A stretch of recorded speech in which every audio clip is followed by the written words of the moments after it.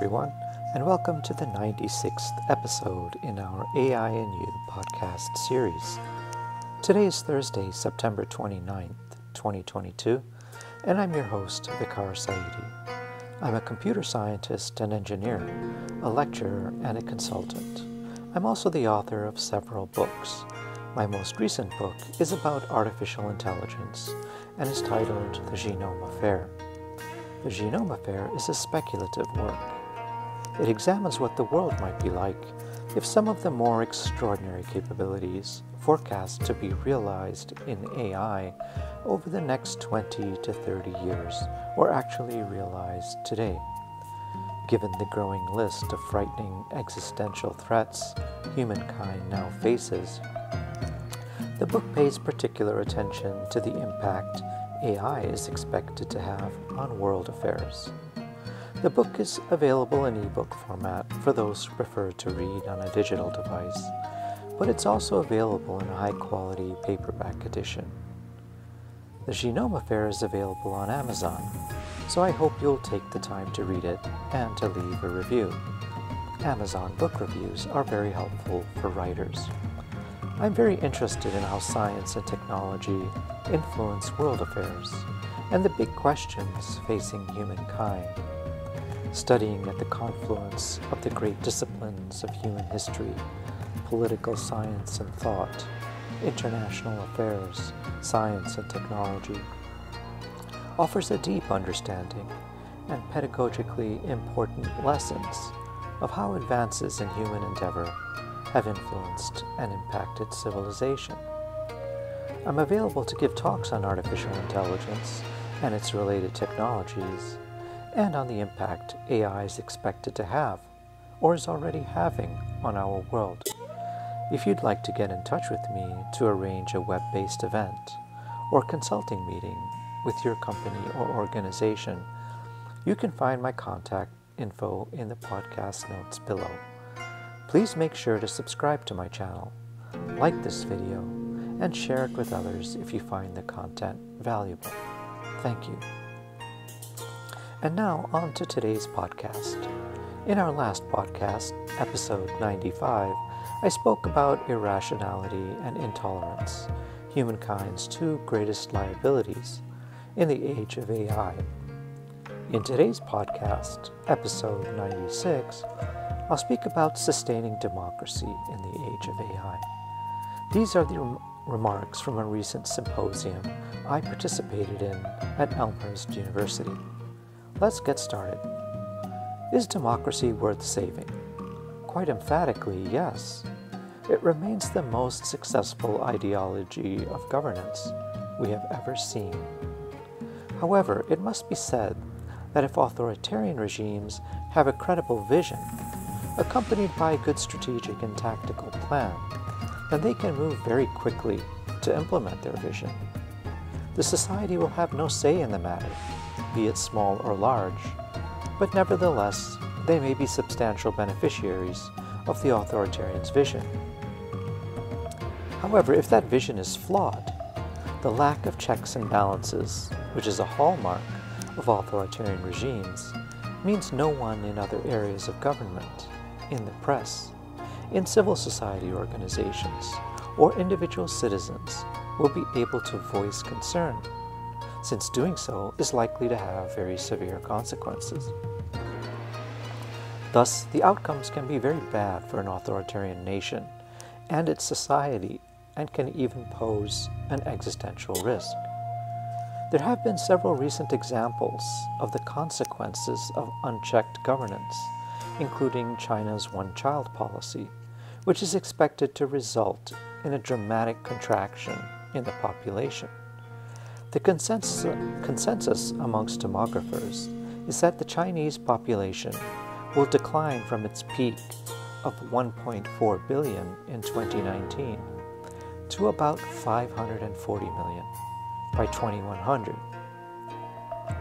Or consider the Chinese Communist Party's decision not to acquire American vaccines and the socioeconomic consequences of that decision.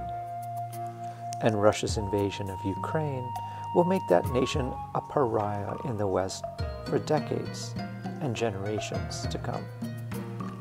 Entrepreneurs and investors are likely to view commercial opportunities as too problematic from a brand reputation, foreign direct investment, insurance risk, and trust perspective.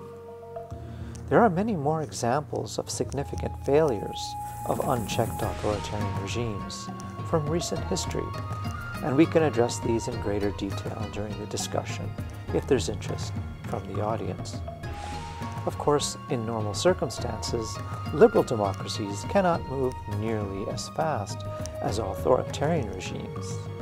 But the many hurdles imposed by the Fourth Estate or free press, intergovernmental agencies and branches, as well as civil society organizations, serve to check and vociferously critique every aspect of proposed plans before much harm can be done.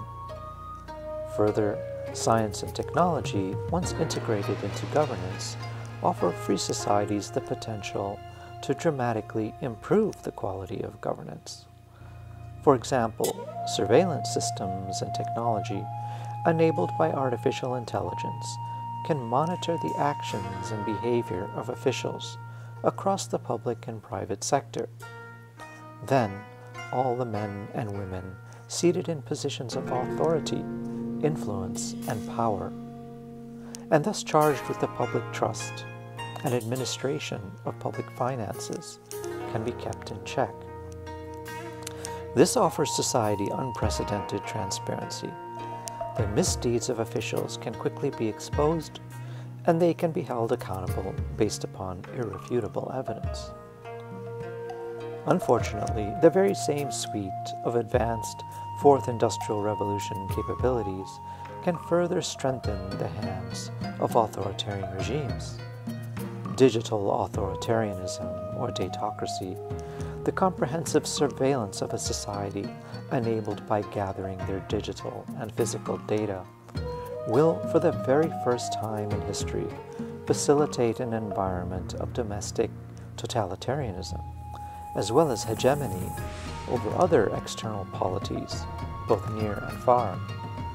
Just imagine how much control and influence an authoritarian regime enabled by datocracy can have over people in power throughout the world just by threatening to expose their adolescent improprieties and indiscretions or other more egregious misbehavior from their more recent professional lives.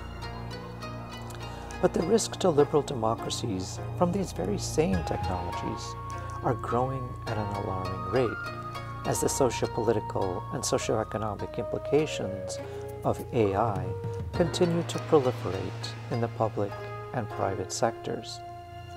Two years ago, labor economists in Germany forecast that by the end of this decade, 800 million jobs around the world would be adversely affected by artificial intelligence, and many of the impacted workers are residents of the developed world.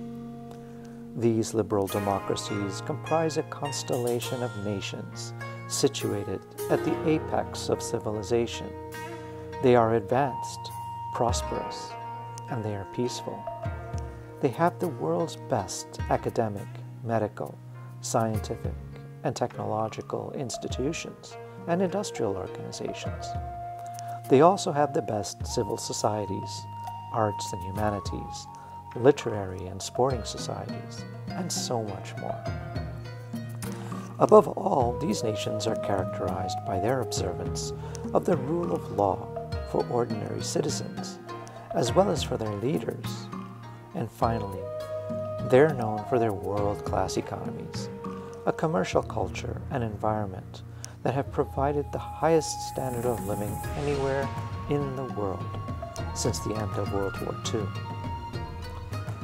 But as embodied artificial intelligence relentlessly permeates highly automated factories with state of the art robotics, thus eliminating the jobs these workers have always known, jobs that gave them dignity, ordinary people increasingly find themselves with few options other than to scrape out a living, toiling in Amazon, distribution warehouses where their bathroom breaks are humiliatingly timed, or other insecure and poorly paid positions in the hospitality sector. The implications for those working in jobs in accounting, finance, healthcare, or even software engineering are also facing implacable competition from disembodied AI enabled software systems that can process data and perform tasks one million times faster than the brightest amongst our species. This impending future strips too many ordinary people of their honor and dignity, and it substantially squelches their motivation to actively participate in the democratic process. Eventually, their belief in the superiority of, liber- of liberal democracies vis a vis authoritarianism will wane. In their own experience, the empirical evidence for the superiority of democracy is simply no longer compelling.